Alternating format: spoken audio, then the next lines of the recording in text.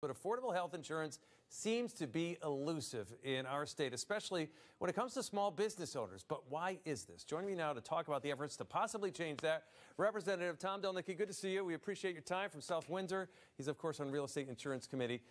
What's the deal? So we. It's great to be here. And I've got to tell you, this is not something new. Yeah. And I want to go back 15 years or so ago when I was on the South Windsor Town Council, and we actually became self-insured for health care for the Board of Ed and for the Town Council. Okay.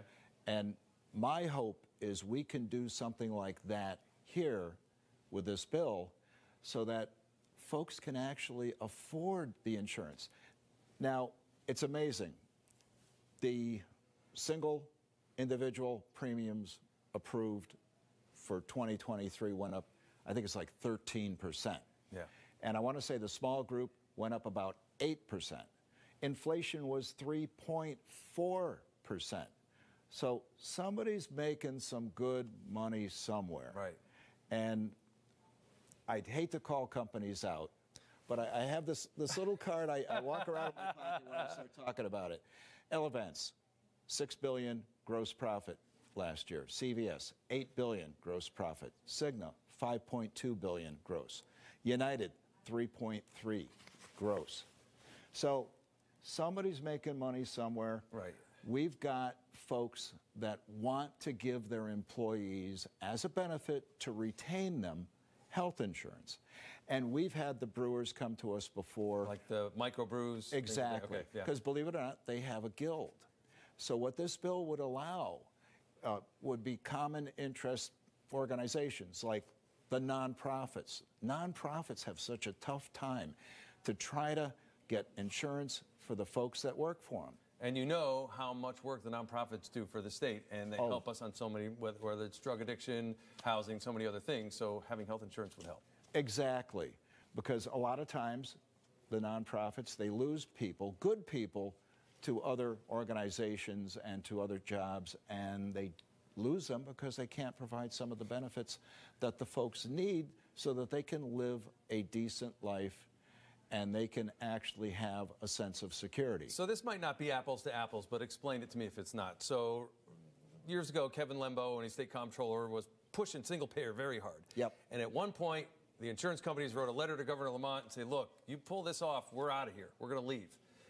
Are they weighing heavily on these decisions? Is that why we get the roadblock year after year on this, trying to get affordable health insurance in these Well, I, I want to say this, this year is a little bit different than okay. that because what Kevin Lembo was trying to do was to actually get everybody off and to take them all in. Right. This would be a group by group type deal. You'd have to have $4 million in assets to be able to start the company. Right. You'd have to have a stop loss to start the company. There would be requirements, requirements that ensure that there would st be stability in an organization, a company like that to provide that so benefit. what you're saying is the insurance companies wouldn't stand to lose that many customers no. under this model, which means maybe they'll be a little bit more amenable, do you think?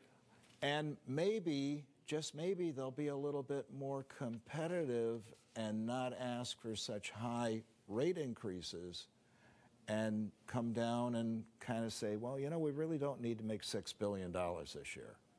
You know, maybe three or four would be okay. Right.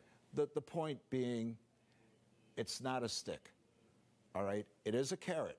It is an opportunity for organizations to band together and be able to provide their folks insurance at a reasonable cost. Would it cause a catastrophe to the insurance industry? No. I don't think it would. Wouldn't it just add people to their roles? I, I would think that guessing, conceivably there would be more people with health insurance because there's a lot of folks that go around without it. Without it, and they run into a catastrophic situation, and what are they going to do?